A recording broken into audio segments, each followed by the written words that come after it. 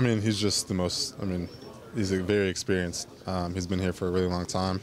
Um, yeah, I hear Alex saying his leadership uh, behind me, and I mean that that holds true. He was a leader even when, um, you know, Finn was starting. He was still our leader, and he was still um, encouraging everybody, encouraging Finn, um, and so yeah, it's just uh, when he's when he's in the huddle, it's you know there's just a veteran presence about him, and he knows and understands defenses really really well.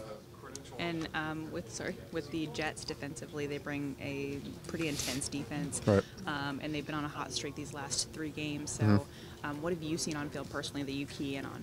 Yeah, I mean, I mean, obviously, you, you look at, around the ball. They're running. They're running to it. Uh, they they play, um, you know, a version of Tampa two a lot, um, and there's just different types of uh, ways that they get to it, and they disguise it really well. And sometimes they'll have the nickel up. Sometimes they'll um, have the Mike run back. Sometimes they'll have a safety um, kind of disguise and, and run to the middle of the field. So uh, they do it in a multitude of ways, and, and you know, it kind of um, condenses the box a little bit when they do certain things and, and the way they disguise it and the way they line up. So, um, yeah, it's they're like you said, they're a very intense group. They uh, they're very active around the box and, at the ball, and um, you know we have some things, uh, you know, schematically that um, you know on paper look good, and you know we'll, we'll have to have a good week of practice and make sure that um, you know we execute on Sunday.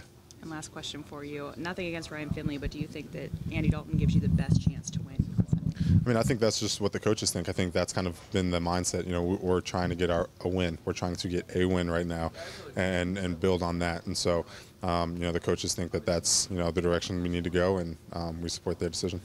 What kind of what, what was the reaction like in the locker room whenever Andy was was named the starter again? I mean, just a feeling that we're trying to do whatever we can to get a win. You know, uh, that's that's kind of been the, the reaction for all of the things that have kind of happened um, with who's been playing and who's not been playing, or um, you know, who's been put in certain situations, et cetera, et cetera. You know, uh, we think that um, we are doing and we're scheming and putting people in positions to be able to win a game.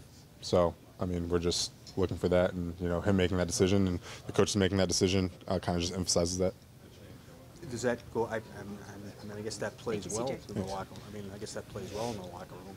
Yeah, I mean, uh, we're just, I mean, I mean, as much as, I mean, I, I don't know if it's, it's everybody. Everybody just wants to win. And so, yeah, I mean, obviously, um, making a decision, making a change, making, you know, doing whatever it takes to, to get that win is something that resonates, you know, heavily on our minds.